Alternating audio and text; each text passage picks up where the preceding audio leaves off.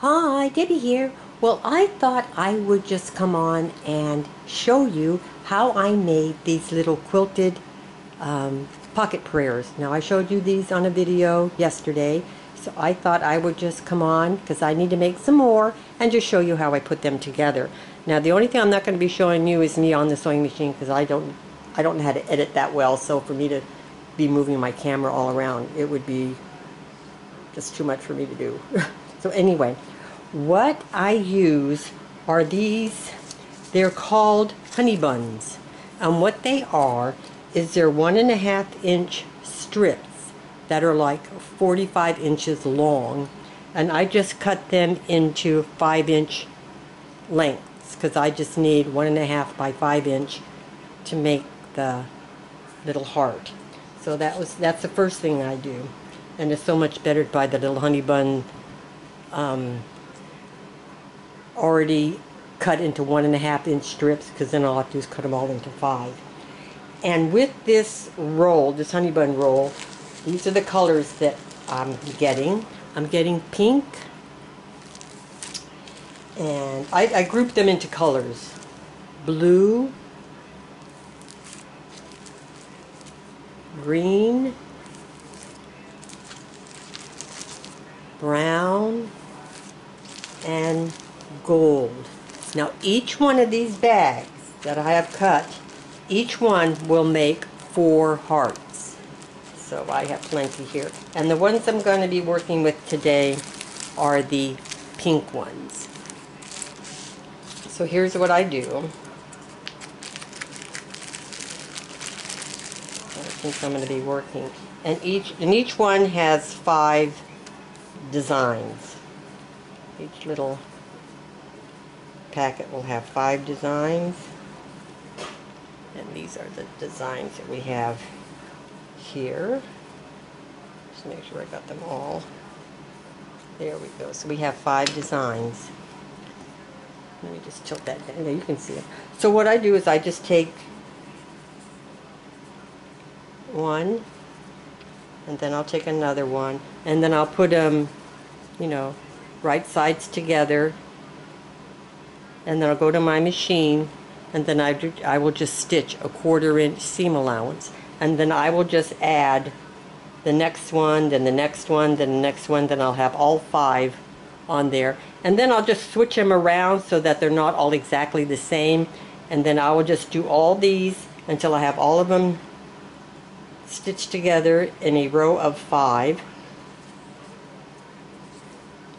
and then I'm going to go to the sewing machine. I'm going to stitch these all together and then I'll come back and show you what we have. Okay well I have them all sewn together and this is what they look like. And I put them all in different orders. So they're all different orders. So what I need to do now is I need to go to the iron and I need to press my seams. One stack I'm pressing my seams to the right and on the other stack I'm going to press them to the left so that when I put them together I have locking seams. So I just sewed these with a quarter inch seam allowance and I had my stitching length set at 2. So let me go press these and I'll be right back. So they're all pressed. All the seams are pressed to one side and this is what it looks like. So what I need to do now is I need to turn my fabric like this and then I'm going to go over and measure over one and a half inches and cut and I'm going to do that three times and um, so I'm going to do that off camera with my rotary cutter over here because I just switched my blade and it's super sharp and I'm going to do that off camera so I'm not nervous doing it on camera and then I'll come back and show you what it looks like. Okay, they're all cut into strips. So now what I need to do is I need to take five strips and arrange them in a way that I can put them together and there's no two right next to each other so I need to go through this little pile and put five of them together and then I just go to my sewing machine and then I'm just going to sew them together with a quarter inch seam allowance. So let me go ahead and do that and I'll show you what they look like. Okay, I have all my pieces sewn together so I have the patchwork part of this done. So what I need to do now is I need to go to the iron and I need to press all these seams open and get these as flat as I possibly can get them. Okay, everything's pressed nice and flat and I've pressed all my seams open. So the next thing, what I need to do is I have a piece of low loft batting and it's just cut the sides, I think it's five inches square and I am going to place this on the batting and of course it will be extending around and then what I'm going to do is I'm going to go to the sewing machine and then I'm going to sew these pieces together and I'm going to be sewing what is called sewing in the ditch. So I'm just going to be sewing inside the seam lines here all the way around. And that's what's going to give it the quilting look. So I'm going to go over to the uh, sewing machine and I'm going to start quilting this together. Okay, here's how they're all quilted on battings. That's what it looks like on the back. So I've done four of them. Okay, so the next thing I need to do is I need to get out my heart template, and that's what this is. And I need to put it on my piece of fabric like this. I'm not doing it this way. I'm doing it in a, in a you know, triangle. And then I'm going to do it like this. And then I'm going to take my pen, and then I'm, I'm using a friction pen, friction grip pen. These um, with heat, they'll erase right off my material. So I'm going to draw, trace around my heart, and cut it out. So that's what we're going to do next. And this is what it looks like with all my with my tracing and then I made sure I made my marks where I need to not sew so I can turn this out. So let me go cut these.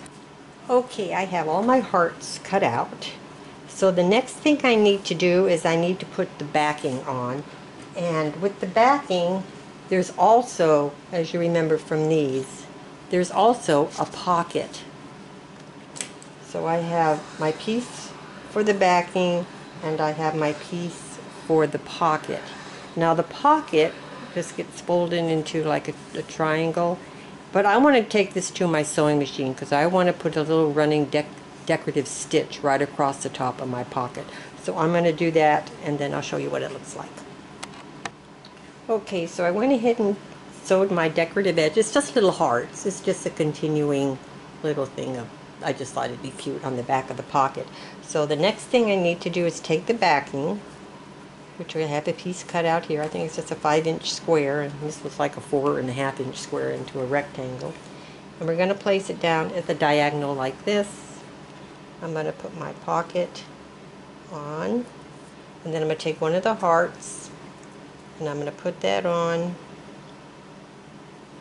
and then I'm going to pin it into place and then I'm going to sew all the way around leaving an opening so that I can turn this right side out. Oh, okay, they're all sewn onto their backing so I'm just going to take some scissors and now I'm going to, just going to go around and I'm just going to cut all the excess off and then I'm going to turn it right side out. Okay, well I have them turned right side out and I press them so they're nice and pressed, ready to go because what I'm going to do next is I'm going to go to my sewing machine and do a top stitch all the way close to the edge and before I close the opening that's when I'm going to place a little cross inside and then I'll close the opening. So let me go do that. Okay, I have the top stitching done and the little crosses inside.